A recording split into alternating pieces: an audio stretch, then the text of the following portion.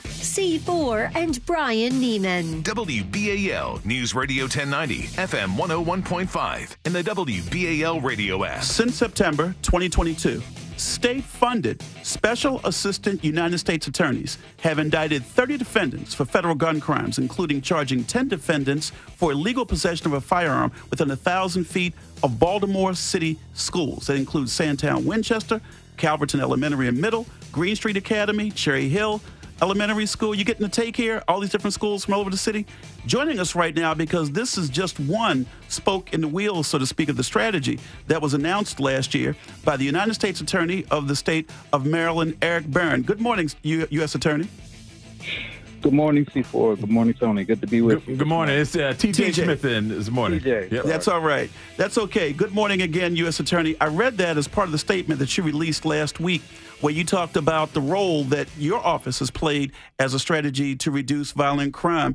And it, you made this announcement back in August of last year. You were sitting with Governor Larry Hogan, Mayor Brandon Scott, a bunch of folks talking about the Al Capone approach you were going to use to uh, approach particularly gun crimes. Could you talk about what's happened over the last year, U.S. Attorney? Sure. I mean, literally, since that announcement and since implementation of our, our, our teamwork and collaborative uh, uh, violent crime strategy, the numbers have been down significantly, uh, 20 to 25 percent in, in homicides and about 10 to 15 in non-fatal shootings. Now, um, you know, we have a lot more work to do, um, but you know, it really just demonstrates the numbers demonstrate since then that if we are collabor- collaborating uh, uh, up and down federal, state, and local law enforcement and community-based organizations working together in tandem, relentlessly uh, looking to uh, hold uh, violent offenders accountable and relentlessly uh, going after, you know, a targeted uh, group of, of individuals and organizations, we can get this violent crime under control. But Yeah. we got to be working together. Yeah, U.S. Attorney uh, Barron, this is T.J. Smith here. And, um, you know, the root, of course, are the people who are possessing these guns and then carrying out the violence. Are we making any headway as to where the guns are coming in from? Because the, the accessibility is a, a significant issue, how people just keep getting them after they get caught and get out and get another gun. Look, we, we are going after gun trafficking. That you know, by and large, the guns aren't coming from Maryland; they're coming from elsewhere. Uh, uh, you know, further down south, Virginia, Georgia, and we're working really hard with the ATF, the Alcohol, Alcohol Tobacco, uh, Firearms Bureau, uh, in enforcing and tracking down the illegal trafficking of firearms. But look, we, the, the fact is, there's a lot of guns here already and they're being used by individuals who are prohibited, who are felons already, and we need to, uh, you know, really uh, continue to focus on getting repeat violent offenders and and those who are using guns and, and violent crimes and drugs uh, off our streets. They they they by by doing uh, these offenses or by carrying when you're prohibited, you are forfeiting your right to be in our communities. We seek to get you help, but it needs to be within the confines of a federal correctional institution. The United States Attorney Erek Barron, one of the ways you used the whole Al Capone language last year was what you were saying was you would go after lower level crimes, knowing that the individual or individuals you're going after were involved in repeat violent offenses. And one of the ways you did that was using the CARES Act and fraud that people were committing with the CARES Act to then go after people on gun crimes. Could you talk about how you were able to start initiating that? Sure. So, uh, pandemic fraud is is a, a, big priority of me and my office. Um, people took advantage of unfairly took advantage of of you know congressional funding, which was meant for businesses and individuals who are suffering during the pandemic. Um, but a lot of individuals, you know, they didn't need the help and they used it to to just line their own pockets. Now, what we've seen, and it, it, I think intuitively it makes sense that those who are involved in violent offenses are often involved in other wrongdoing. And so any other wrongdoing, if you're on our radar for a violent offense or you are a, a, felon in possession of a, a, firearm, then we think it's fair that you be vetted for any and all and investigated for any and all other wrongdoing that meets our priorities, particularly uh, fraud and, and pandemic fraud.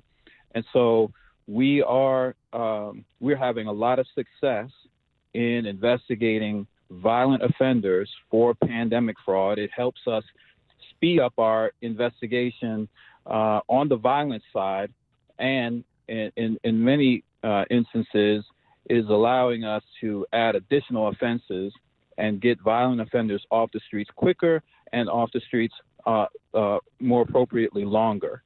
Yeah, and uh, we're talking to U.S. Attorney Erek Barron, and uh, what I wanted to ask it, it, when you see a downward turn in crime, in any type of crime, carjackings, car thefts, but in this case, we're talking about murder. We're seeing uh, significantly less murders than we saw last year. Without being specific, because I know these are ongoing investigations, do you know or do you believe you took someone off the streets in the past year potentially that might have been responsible for an inordinate amount of violence that was going on in our city? I have absolutely no doubt that that is the case. And uh, we've been talking uh, since this this terrible mass shooting. We've been talking about the the need for and the importance of intelligence. Our office is the only United States Attorney's office in the country with its own in-house intelligence unit, and we use that unit along with our our uh, our partners and, and prosecutors in the community and our local uh, and state partners. We use this intelligence to do the best that we can to hone in who are the drivers of the violence in our communities, who are the individuals and the organizations most responsible for violence.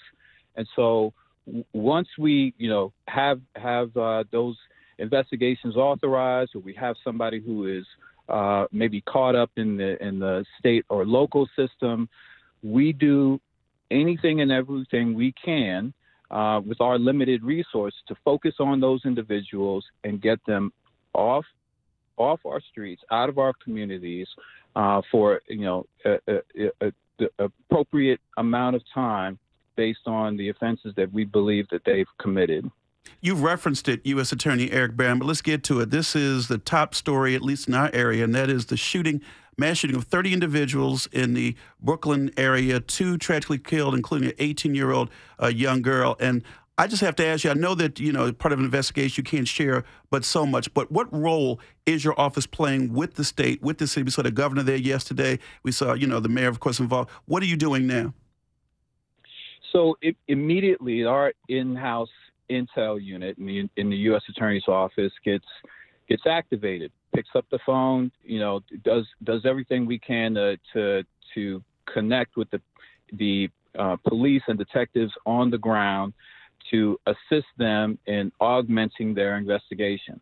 Along with that, we have the Federal Bureau of Investigations and the ATF, who are also, uh, uh, uh, you know, on the ground and working with the local police department on gathering evidence, using the technology and the capacity that the Baltimore City Police Department may not have, and using that to uh, assist and augment uh, their investigation, to speed up things, to connect the dots as much as possible, and to, to you know, hopefully uh, find and apprehend any perpetrators.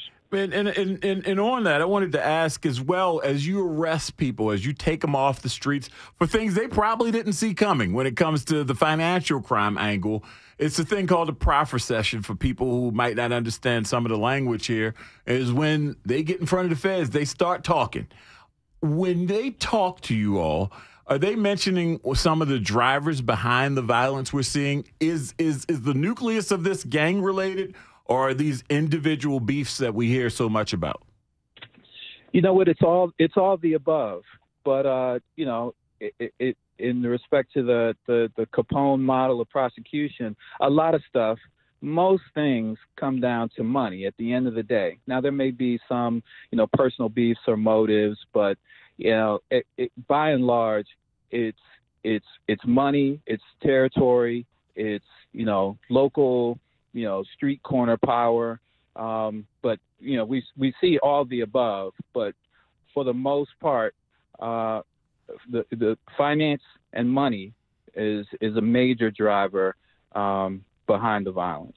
You know, U.S. Attorney, we're talking about, of course, the law enforcement part of what you do, which is, you know, prosecuting people, sending them to jail. But you also have been working with three Baltimore community based organizations ROCA, Living Classrooms, the Black Mental Health Alliance, and assisting them with U.S. Department of Justice grants, I guess, to try to, you know, try to intervene with some of this. Can you talk about that part of what your office is doing? Sure. In, in many respects, we're, we're all aiming at the kind of a similar or same overlapping universe of uh, of individuals who may be either at risk of committing a, an offense or at risk of uh, of being a victim, um, and and disconnected youth and young adults um, who you know are, are ripe for a better path. And so, you know, uh, w- where appropriate, we're helping community-based organizations who are doing, you know, evidence-based uh, work on the ground. And ROCA is one of those organizations. So last September, uh, Department of Justice gave ROCA almost $2 million to expand its work because what they do is working. Mm-hmm. And what they do is it, it really is in sync with and coincides with, um, you know, the work that we're doing on the enforcement side. So my office has a community outreach unit. And I'm personally, along with that unit, we go out in the community uh, once or twice a month with Roca. Yeah, and what about the? If you could speak a little bit about the reentry, because we're talking a lot about putting some of these folks behind bars that need to be, but then some are going to reintegrate. Uh, what do those reentry programs look like that your office has been working on? Sure. Thanks. Thanks for asking. You know, a, a lot of the times the, the, the the rhetoric around crime is is too much of a uh, either or. You know, we got to do either this or, or, that, and it's it's and it's one approach versus another. No, uh, it, it's got to be all of the above. And you know, if you're not all of the above, if you're not helping people who have spent their time, who have uh, you know, uh, committed an offense but are coming out, if you're not helping them uh, to be successful citizens in our community, then we're really just spinning our wheels. So our office is hosting and co-hosting uh, reentry fairs every few months in Baltimore City and Prince George's County in particular to get and connect uh, those individuals with the resources they need to be successful citizens. And we're we're doing even more. We're going into the jails and and trying to uh, uh, get people ready before they're circulating out into the community. So if we're not doing that, we're we're just spinning our wheels. Mm-hmm. it's got to be an all all of the above relentless approach. Finally, United States Attorney for the state of Maryland, Erek Barron, is on board with us. When it comes to this particular last year, and we're almost approaching that, you made the announcement August 24th. What do you want folks to know about how your approach is? This Al Capone style approach, Project Safe Neighborhoods, all this. Uh, what what, what are you feeling is, is positive moving forward this next year? Well, uh, it, the the the the kind of thirty thousand foot level the message here is that we have to be working together as a team. You know, Mar- Maryland, we have great partnerships across law enforcement. You know, I can pick up the phone and and and and get help from you know pretty much any agency around the state. But it's a much different level of teamwork when we are jointly working on uh, uh, uh, approaches and programs to stop the violence. And that was the message really at the end of August. All of us on the same page, rowing in the same direction. Regardless of party, more, regardless of party. that, mm-hmm. the better. I was just saying, regardless of party, U.S. Attorney right. Barron, regardless of any right. of that. Yeah. Absolutely. Absolutely. Regardless of any of that, if we are working as a team, as a team, along with community based organizations, then we will continue to see uh, a significant downtick in violent crime. Well, U.S. Attorney Erek Barron, we look forward to talking with you moving forward, particularly on this case. We hope to be making some arrests soon in this uh, tragedy that occurred at Brooklyn and really send a message that this type of activity at a cookout, at a you know a, an event for July Fourth weekend will not be allowed to happen, particularly with kids. Uh, you, half of the 30 were under the age of mm. 18 that was shot. U.S. Attorney.